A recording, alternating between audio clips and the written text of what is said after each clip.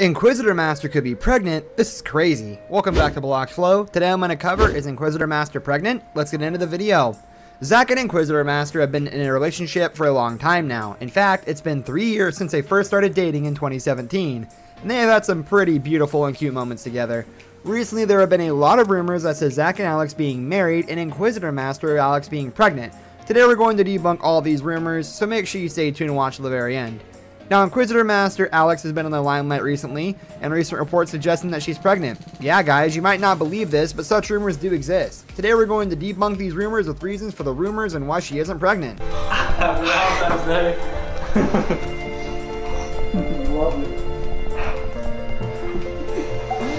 So I'm going to read this because Zach said I can't get another book until I finish this one, and he's right. I have an obsession. Number one, she's admitted her love for children.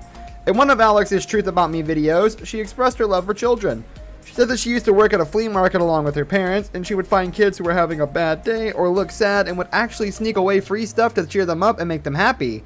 Now, in my opinion, if anything, just reminds Alex of Alex is an incredible person.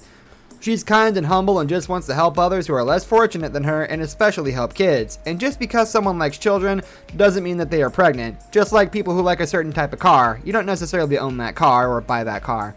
I mean, you're not going to buy a $60,000 car just because you like Tesla. It is certainly possible to like something and not have it. This is how life goes sometimes. Do you agree with us? Let us know down in the comments.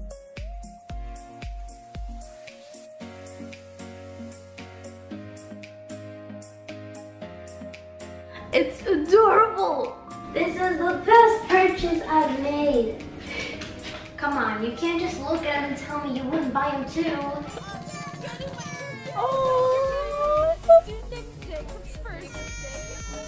I feel so bad. Oh. Number two, people claim that her pregnancy has to do something with her relationship with her boyfriend, Zack.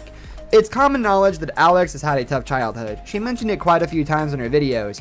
Besides, she grew up not speaking a word of English because her original language was Spanish, and this is why she was constantly gunned and bullied by other kids. She was an outcast at school, then Zack came into her life and showed her a lot of love and affection.